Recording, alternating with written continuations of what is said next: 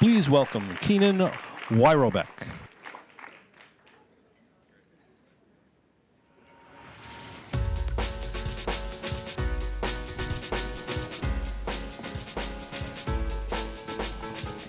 Hi. I want to tell you a story about a woman named Alice. This is Alice. Two years ago, Alice went to her local hospital in Rwanda to give birth. Her labor proceeded normally and concluded in an emergency C section. Yes, an emergency, but a routine emergency. My son was born this way. Scary, but routine. But for Alice, that's when the complications began. Alice started to bleed, but it was okay. They had her blood type in hand at the hospital, so they started transfusions.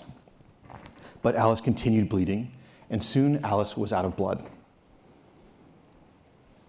This wonderful everyday event for Alice, everyday event for around the world, but every wonderful event for Alice, had turned life critical in minutes.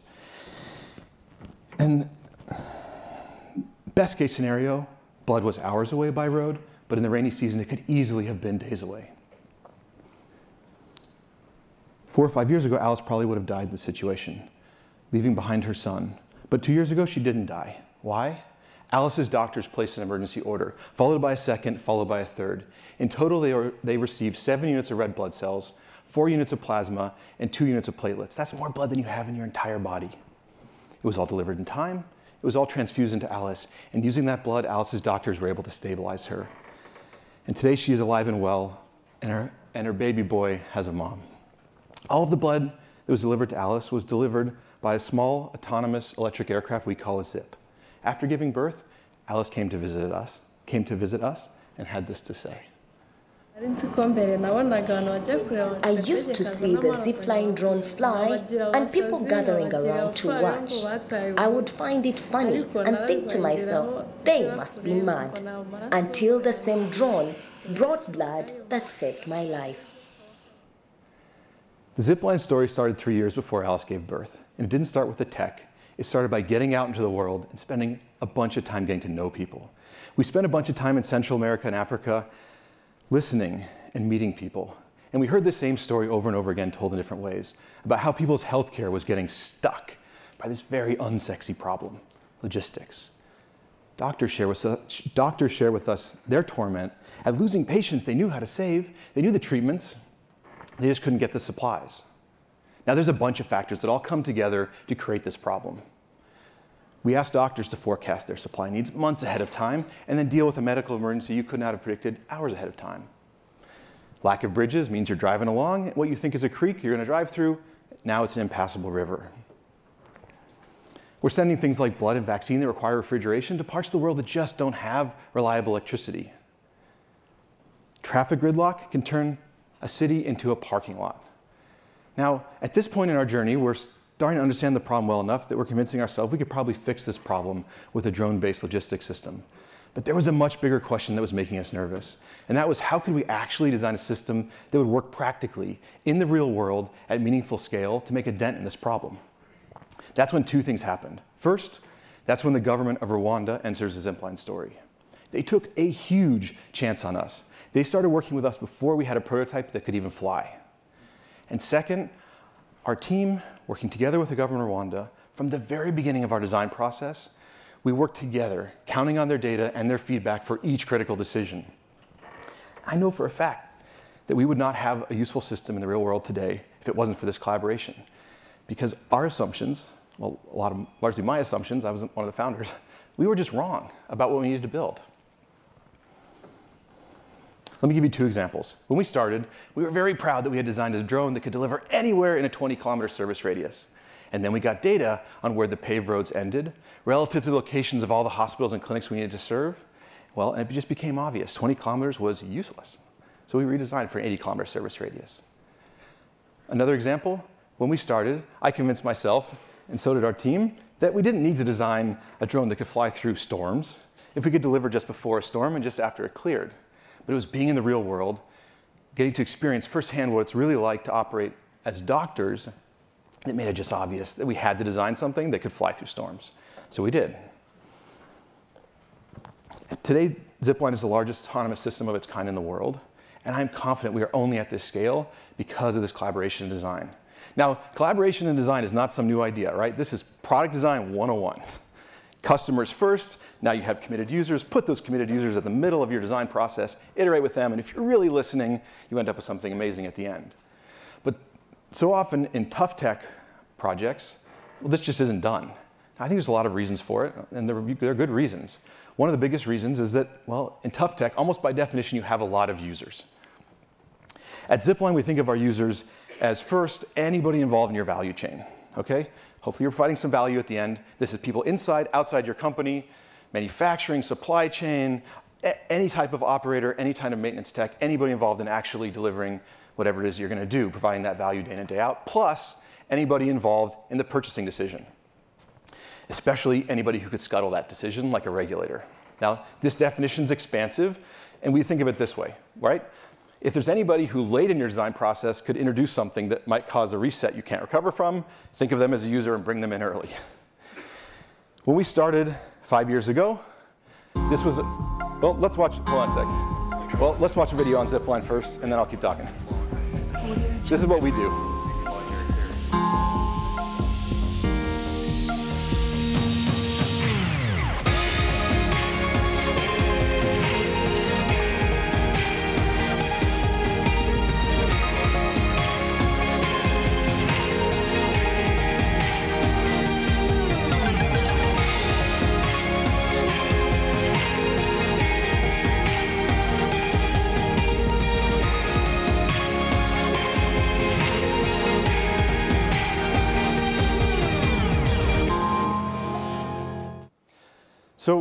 Everything you saw in that video was the result of five years of this collaboration and design, every detail.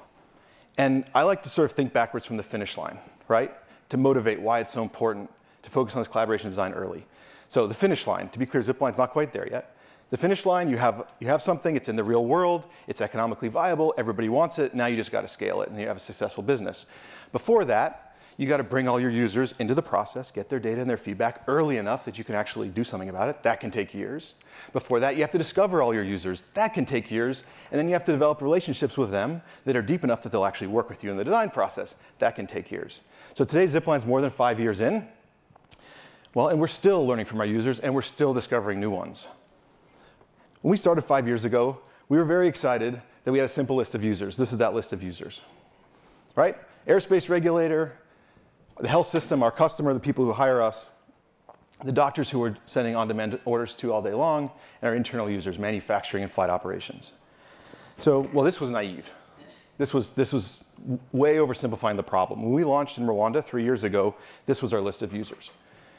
And I'm not going to talk about all of these, but let's just, as an example, talk about the regulator. We thought we had one. We had to work with six regulators to launch in Rwanda. Started with the United States Department of Defense. They had to not classify us as a cruise missile. Se then we worked with the Department of Commerce to get export licenses and to arrange, well, all of our engineering to be export compatible. We had three airspace regulators. The Rwandan Air Traffic Control Organization, these are the people who run the airspace day in and day out. The certifying agency, the RCAA, they're the ones who actually like look at your tech and your operations and sign off or not. And when you're flying a national scale drone delivery system in a country like the United States, it doesn't allow that kind of flight, flying of drones, and you're flying over sensitive areas, you better believe the Department of Defense has to sign off on that airspace integration plan. And finally, we're, we, deliver, we started by delivering blood. And so we had to comply and get certified to an international standard for both of our facilities, our operators, and our operations. There are, of course, stories behind all of these users. And to be clear, some of these are really groups of users, where if we had learned what we learned from that user too late in the process, it would have killed Zipline by now. I'm just sure of it.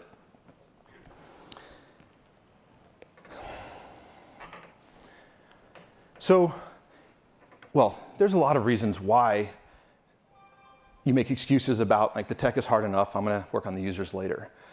And separate from this argument I'm making about avoiding this, this catastrophic reset, getting introduced too late in your company, bringing your users into this design process early from day one, in my, in my experience, strictly accelerates your development and saves you money in two key ways. Nothing motivates your team, your engineers, like having a personal connection to the people who are going to use their tech. I have, I've come to believe this is like fundamental human nature thing. This works on even my most agoraphobic geeks. And in tough tech, your development timelines are really long, right? And so having this intrinsic motivation is really valuable for, to, for that sustained period of time. Now, the second sort of accelerating factor, this is one's, well, it might feel a little bit subtle, but it, it's just so powerful. The second accelerating factor, right, in, in, in tough tech, you have, well, there's so many things you have to do. And it's so critical that each thing you do is as elegantly simple as possible. No more, no less. And having your team grounded in the experience of the users means that your team's debates about what can be cut and what can't, what's elegantly simple and what's not, those debates are grounded in reality. And that is innovation magic. I love it. I, part of the reason I love coming to give talks is now I get to go back in a few days and see all the innovation, literally that I can measure it in days. It's really cool to see when this connection is strong. So my, to connect my talk a little bit to Rod's here, my motivation um, and my focus on this collaboration design, well, started early in my career when I face planted hard. Before PR2 and ROS and Willow Garage and later Zipline, I started a company called Neato Robotics. And we set out to create a robot vacuum cleaner that would create a better, a better cleaning experience than the iRobot Roomba. Now eventually, now eventually that, Neato shipped that robot, and it's doing fine. But that robot that shipped started a year after I left that company. And I am confident that what I did never saw the light of day because we focused on the tech first, not the user first. It's great tech, but it doesn't matter to the user. So that was my wake up call, and now I live by this maxim. Sounds a little goofy, but it really works for me. Right? If you imagine a solution to a problem, you change the world.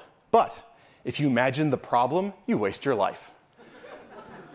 right? You imagine the problem, you are not only incorrect in your imagination of the problem, but you're incomplete but if your team and you are grounded in that experience from your users, well, now you actually understand the problem, and now you're solving a real world problem, not an imaginary one. So let me make this a little more concrete by bringing this back to Zipline and talking about one of our operators, our flight operators.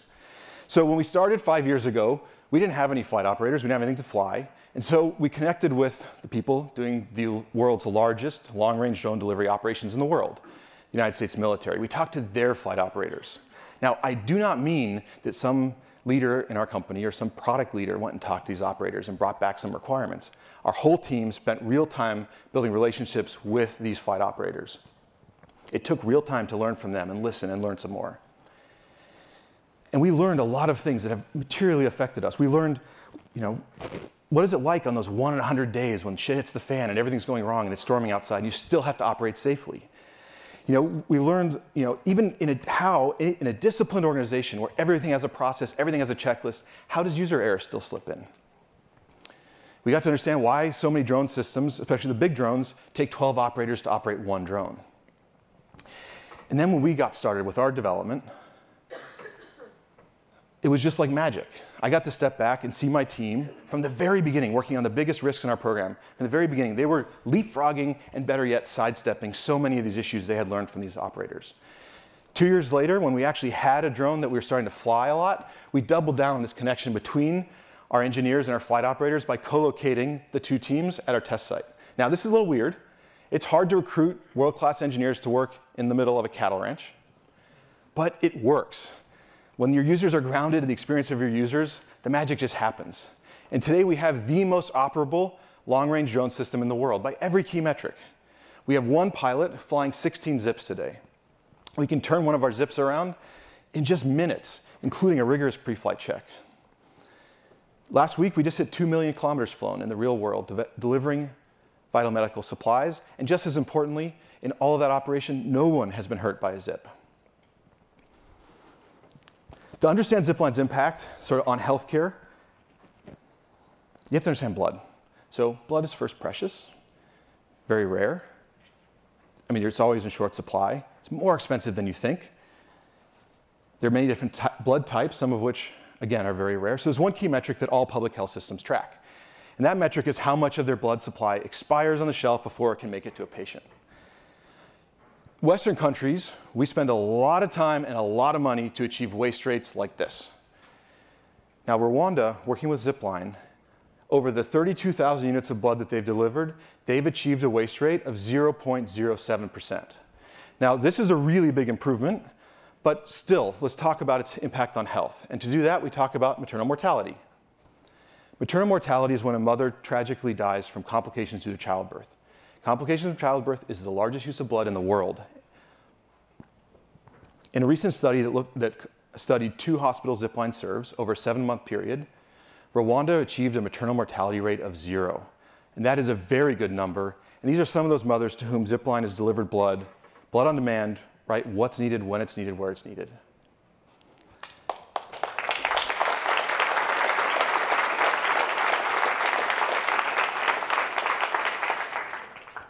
So this is Rwanda. You can see our two distribution centers there, as well as all the hospitals and all the clinics that we are currently scaling to serve.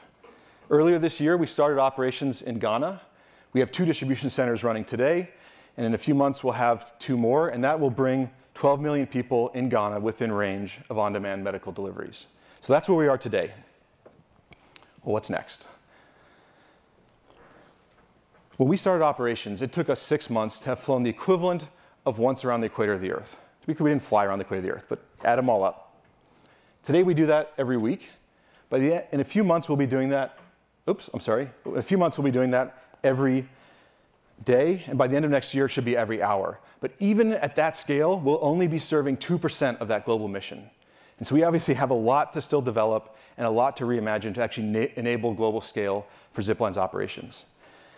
Everything from the doctor experience to re-architecting our airspace for this dramatic increase in the number of zips, to developments like a perception system that working with the FAA on right now, that will enable us to fly in airspaces that are currently off limits to us. As we think about reimagining everything that we need to reimagine and developing everything we, we need to develop, there's one thing that we hold sacred, one thing that we just like know for sure, and that's that we're going to design it all hand in hand with the people we serve. Thank you.